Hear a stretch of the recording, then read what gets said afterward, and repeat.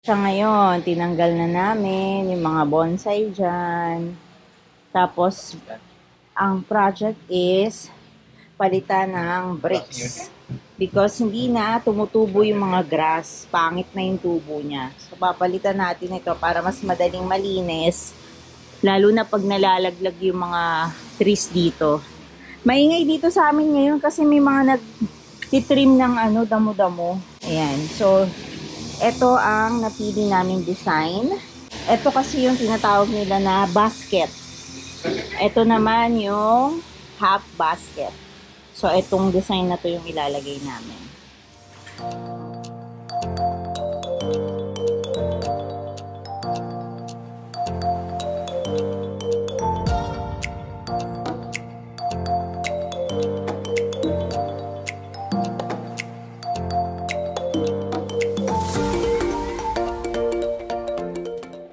Bubungkalin muna yung lupa. Paglalagyan nito. Yan. Ile-level natin siya doon sa bato. O yan, ayusin mo yan, alipin. Bili nito, ma'am. Ayan, ano lang yan, 13 pesos isa. Ay, mahal po, ma'am. Bakit? Magkano ba yan? Sa amin, eh, kamote lang po yung katapat niya o saging po. Tsaka yung gabi po. Mm. ayusin mo yan ha. Opo, ma'am. Hindi yan arawan, pakiyawan yan. Ang gatas po, po ng anak ko, ma'am. Ay, ganon. Eh, sa katunayan po, nabagyo po kami doon. Ay, ganon. Hoy, wag mong dumihan yung ano ko dyan, succulent ko dyan. Sayan mo yan ha. Ano gusto mong merienda? Jollibee po sana, ma'am. Ay, ang mahal naman. Available po. Napakamahal naman ang gusto mong merienda. Saka gusto ko pong mag-Starbucks, ma'am. Kung. Grabe naman palang pamerienda nitong laborer na to. Eh, gusto ko pong matikman. Nang lumas po ako sa probinsya, eh, sikat na sikat po yan. Ay, ganun ba? Opo. O sige, mag-Starbucks tayo. Ayan na, nile-level pa yan ni husband. Ayan, o. Sukat-sukat pa, like a pro. O, diba? Sipag ng bebe ko, no?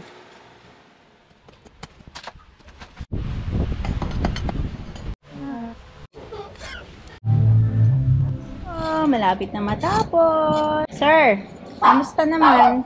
Nakapagod po, ma'am. Kailangan niyo pong, pong ipamasahe mo. Masahe? Sige, galingan mo yan. May masahe ka mamaya, charot.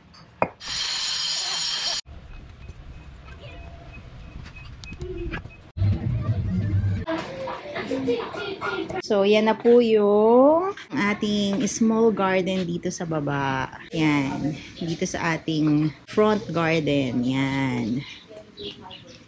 O, diba? Maaliwalas na, saka madali na siyang linisin. Yan, madali na siyang walisin.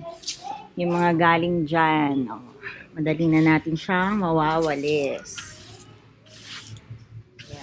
Yan. Re-ready na namin ni Mami P ang mga ire-rain or shine. Magbabawas na tayo ng succulents dito sa taas. Yan.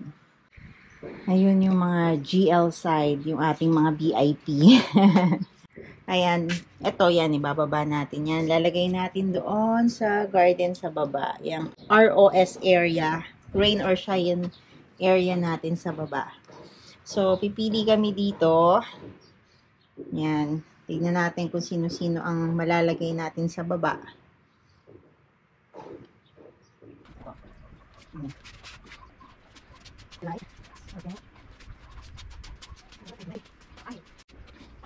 I-recycle natin tong stand na to. Gagawin natin siyang stand sa front garden. Yan, para hindi masayang. At saka hindi na tayo bumili ng bagong materials. Yan. So, wait nyo na lang.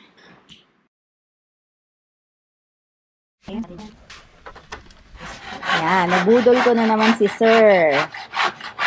O, diba? Saan ka nakakuha ng asawang ano? Ako yung Starbucks mo nga, wala pa eh. O, sige, papa Starbucks kita. o, ito lang naman daw kasi bisyo ko eh. Kaya, suporta, suporta. Grabe, pulidong pulido. Ang galing talaga. Ang aking habibi.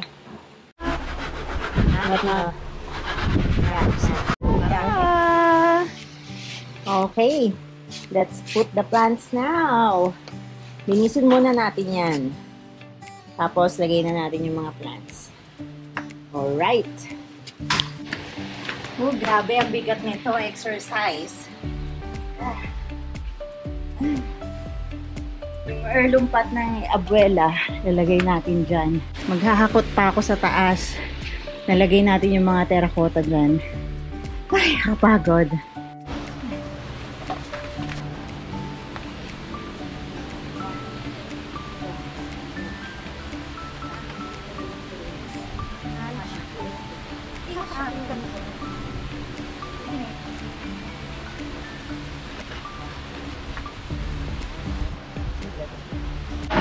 The last one. Tadaan! Oh, ayan, may labis. Maganda ba? Nagustuhan niyo ba yung project natin? Oh, di ba? Oh, nag-compliment siya dyan. I think this one, lagay natin dito. Yan! Oh, di ba? So, puro succulent na sila. Tapos sa project natin, maglalagay tayo dito ng disabet. So, hindi pa yan final. Okay? So, ang nilagay natin yan, si Campfire, na ang ganda-ganda. Super stress ng kanyang ano, o, pink. Yan, si Fred Ives. Ito, dalawa tong Adolphi eh. Firestorm, saka Adolphi. Yan. Ewan ko ano tong isa. Baka stress na stress lang siya. Ayan, nandun si Choco Moonstone, Dardy Sanchez, si Claret, Pretty Pink or Marpin, si ating Purple Delight, yan. Orpet na mabait na ang ganda. Super Bomb, Tito Buns, Ghosty, my favorite Hakuhu, Ghost Plant, ano nga ba ito? Ito nakalimutan ko ang ID. Kissing! yon And variegated campar and si koala. And then, ito yung ating flapjack na malaking malaki na. And yung tower. Yan. Sari-sari yung nandyan. Umangat yung ganda ng aking succulents on the ground. Ayan. So, ito yung before. Ito na yung after. Ayan. Ayan. May mga aloes. Ito yung pretty and pink. Yan. Matured na yan. Kaya nilagay ko siya dito sa ground. Yan. Mga flapjack. Yan ang nabubuhay dito. So, pasensya na at may, medyo maingay yung mga kids naliligo. Nadidinig dito sa labas. Ito naman, si mga Fred Ives, yan yung mga hardy at uh, madaling tumubo dito sa ground. Adolphi ito yung pinakamatagal from the old ano pa to, setup. Ayan, ito din nagdag ni Mami P yan. Ayan, ito yung matured ko na na ghosty. Ganda, no? Ayan, okay naman siya so far. Nakailang weeks na rin siya dyan. Yan, may aloes, flapjack. Ito hindi ko alam kung tawag dito eh. Ito yung ano, alo pepe ba yan? Tapos itong malaki kong agave, nilipat ko dito sa likod. Yan. Tapos yung mga dikya, ayan na sila. Ang dami pang natira doon. Kung sino may gusto, comment lang down below. And then yan, mga maliliit na agave.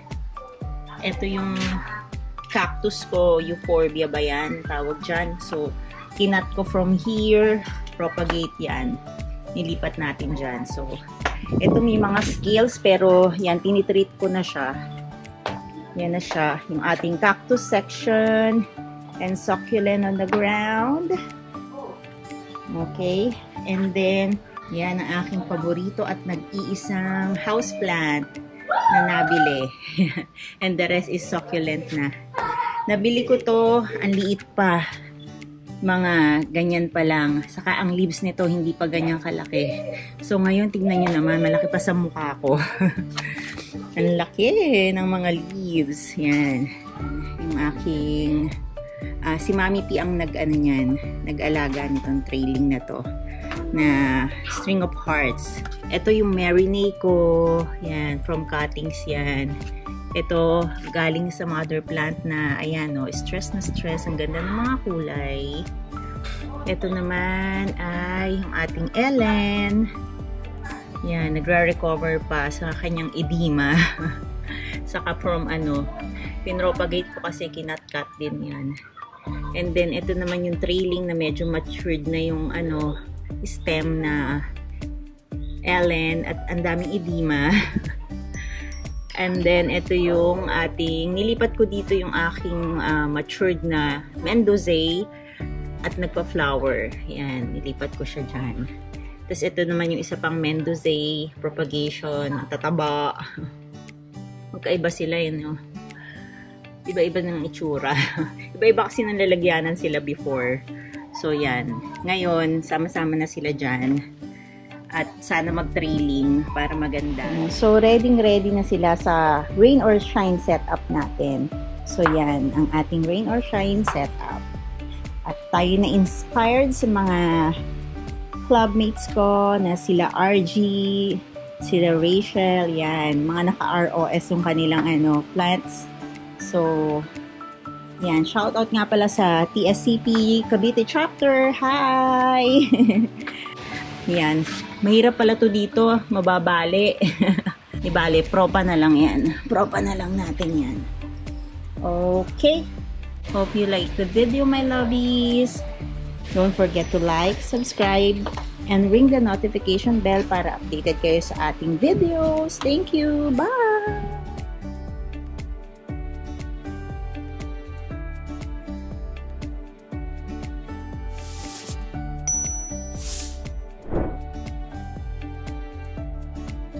Please like and subscribe.